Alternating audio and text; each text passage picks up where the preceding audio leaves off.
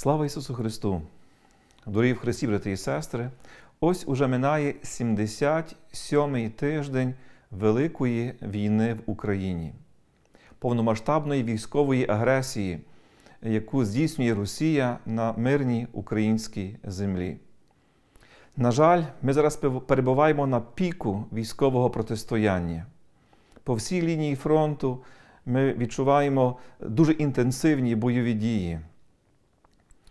Лється кров. Ворог постійно обстрілює мирні міста і села е, України.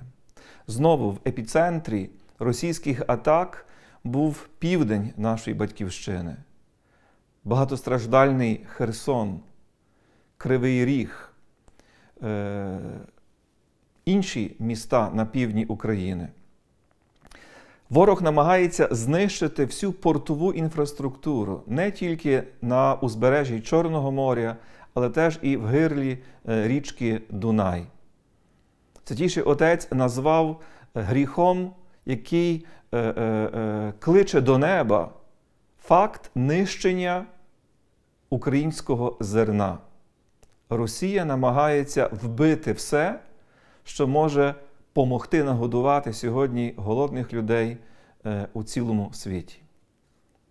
Але ми сьогодні хочемо, щоб увесь світ нас почув, що Україна стоїть, Україна бореться, Україна молиться.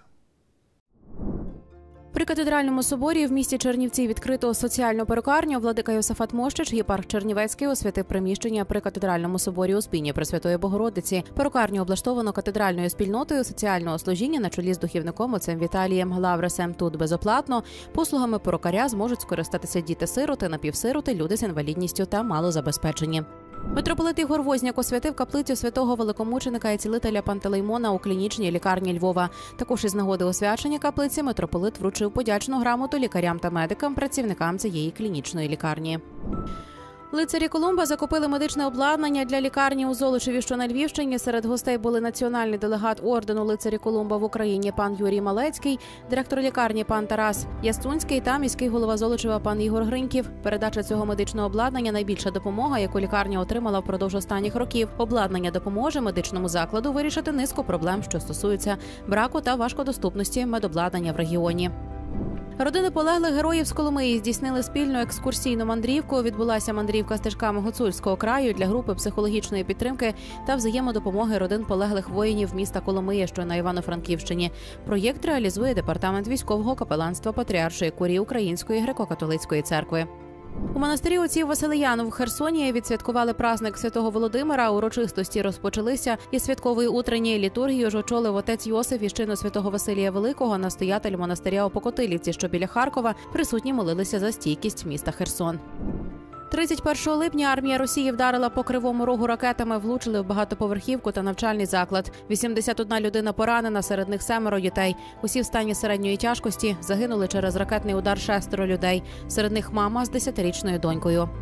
Росія атакувала порт Ізмаїла, зруйновані елеватор, зернові ангари та резервуари одного з вантажних терміналів. Атака російських дронів пошкодила майже 40 тонн зерна, яке очікували країни Африки, Китай та Ізраїль. Найбільших руйнувань зазнав морський вокзал порту та інфраструктура Дунайського пароплавства. Українська молодь з Української греко-католицької церкви та Римо-католицької церкви в Україні мала особисту аудієнцію із святішим отцем Франциском. Під час зустрічі в апостольській нунціатурі в Лісабоні молоді українці розповіли про свої рани, жалі та про війну в Україні. Папа Франциск попросив вибачення в української молоді за свою неспроможність вплинути на ситуацію в Україні. Молодь подарувала папі символічні подарунки: сніп пшениці, коровай і зарваницьку воду. Пані Ірина Більська передала папі уламки ракет, які впали на подвір'я церкви у Береславі. Славі, що на Херсонщині, і розповіла, що їхній храм став прихистком для кількох тисяч людей.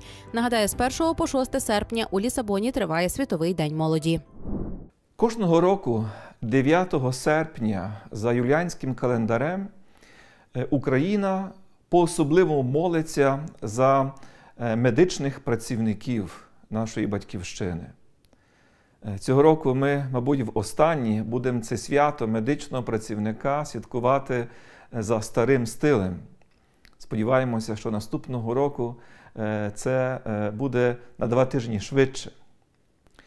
Але це є добра нагода для того, щоб ми як народ, як церква, як вдячні пацієнти сказали спасибі медичним працівникам, які в надзвичайних обставинах, в умовах війни рятують людське життя. Всіх нас сколихнула е, подія кількаденної давності у е, Херсоні, коли ворог вбив молодого лікаря в перший день його праці, молодого лікаря е, Дмитра Білого, отоларинголога, який в Херсоні хотів працювати для того, щоб рятувати життя людей, які постійно живуть під е, е, бомбовими ракетними ударами росіян. В перший день своєї праці він загинув на робочому місці, а поруч нього була важко поранена медична сестра.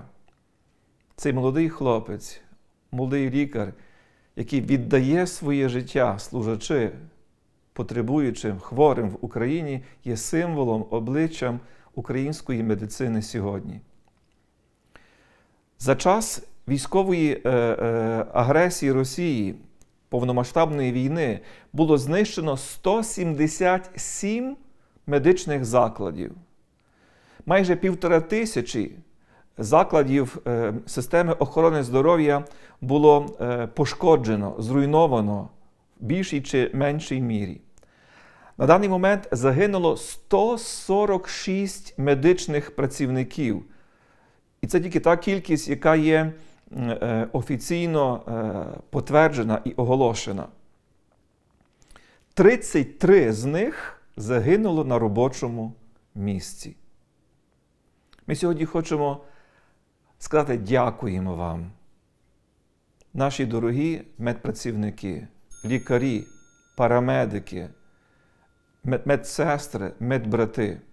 Дякуємо нашим військовим медикам, які рятують життя тим, хто сьогодні захищає нашу батьківщину. Кілька місяців тому, е, в січні місяці, коли Всеукраїнська Рада церков відвідувала святішого Отця, ми передали на руки папи Франциска список із 41 полоненого медичного працівника, який незаконно перебуває в російському полоні. На даний момент, на жаль, жоден з них не є звільнений. Пам'ятаємо про всіх них у молитві. Нехай Господь Бог благословить усіх тих, хто не змучується любити. Ми себе сьогодні в умовах війни запитуємося, як нам не втомитися, як не втомитися відстоювати життя людини. Можливо, Європа і світ питає себе, як сьогодні не втомитися від війни в Україні. І на це питання нам сьогодні відповідає відомий письменник Екзюпері. Він говорив, що лише справжня любов не втомлюється. Бо коли хтось любить і дає, тоді та любов помножується. Отож, давайте будемо вчитися не втомлюватися любити, не боятися ділитися своєю любов'ю, бо розділена любов збільшується. Це є природа божественної любові, яку нам об'являє сам Господь наш Ісус Христос. Боже, благослови Україну, яку Ти полюбив своєю вічною любов'ю. Боже, благослови наших медичних працівників, які віддають своє життя в любові до своїх пацієнтів. Боже, благослови українське військо, яке сьогодні в любові до своєї батьківщини жертвує своїм життям. Боже, благослови Україну Твоїм справедливим небесним миром. Благословення Господні на вас, того благодаттю і чоловіколюб'ям завжди, нині і повсякчас, і на віки вічні. Амінь.